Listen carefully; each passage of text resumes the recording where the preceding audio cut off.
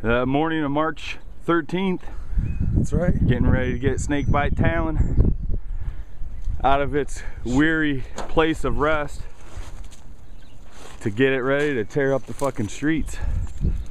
Still got the vent on the on the windows. Kevin Corbett's new ride.